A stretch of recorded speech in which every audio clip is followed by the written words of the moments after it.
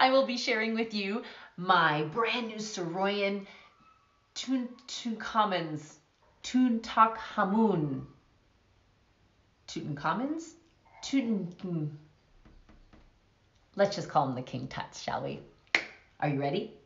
So the tuts come in both brass and in silver. These are about two and a half inches in diameter and weigh 180 grams for those of you keeping track. So most of you know when it comes to zills, I have about zero control. Like the second these things arrive, I sew my zill elastics into them and I start playing. And what I really need to do is take a moment to like take a little video and show you how pretty they are when they first come out of the bag because I have been using the heck out of these for a couple of months now um, so they're not as pretty as they were, but they're still pretty gorgeous. So these are the King Tuts. Check out that design. I don't know. I think that this design might be the prettiest, in my opinion, in the entire Saroyan series. And you can see, even after a couple of months of very regular usage, they're still shiny. I love it. So these are a little bit smaller than some of my other favorites like the Afghanis. Um, these are a little bit smaller, uh, but they're still fairly hefty, right? They're not heavy. None of these zills I find to be particularly heavy, but I like that these still have weight in them. My Grecians, which I also very much enjoy, my Grecians in silver, are very lightweight. And so sometimes they feel like they move a little bit too fast and don't have quite the same heft that my Afghanis have. I find reasons to use all of them. Um, so then none of them ever go to waste. But what I really like is these are just a tiny bit smaller. So I find it's easier to maneuver my hands between different sounds using these zills.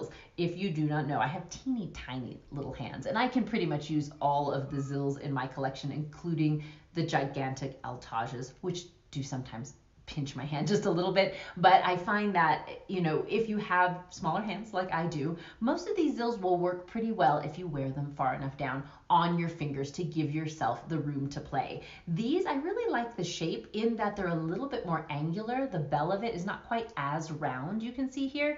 Um, and it's fairly shallow, which um, that's not too shallow to do all of the sounds. I can still get all of my ticks and rings in there, but it's a little bit more shallow, which also I think lends to it feeling a little bit smaller in my hand, which is quite nice. I like the angularity of the edge. I find when the Zill has a nice flat edge, it makes creating edge-based sounds easier because it doesn't slide quite so much.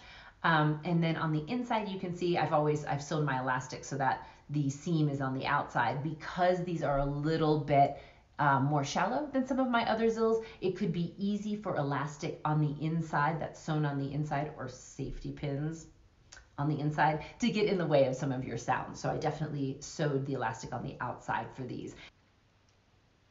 They do not make good sunglasses. Or maybe they make really good sunglasses because it's really dark. So, would you like to take a listen to how they sound? So, let's take a listen to the basic sounds. Here we go.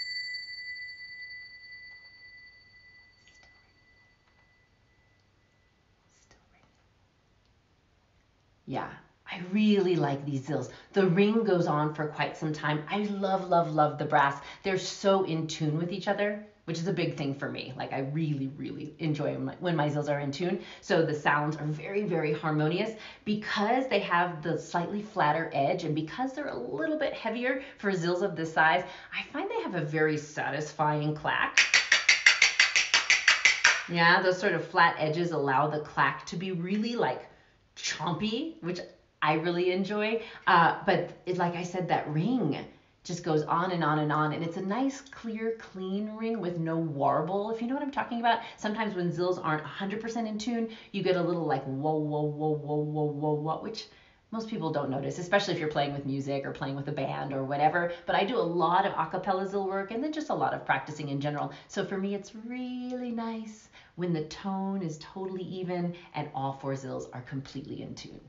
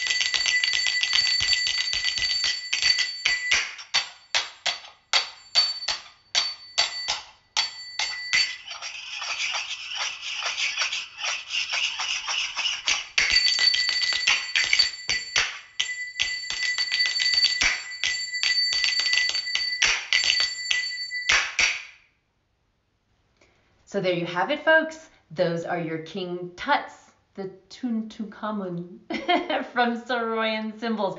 If you like these zills, and how could you not like these zills? You can find them at sahirabellydances.com slash Saroyan cymbals. Love, love, love, love all their stuff. Be sure to get on their website and check out all of the sound files they have for all their zills. It's like being in a candy store, I swear. Um, but these are super fun. If you have any questions about them, let me know. And I'm curious, what are your favorite zills at the moment? I find like I have a new different favorite every every few months. I have one that I can't stop playing, and I would love to hear what are you playing these days?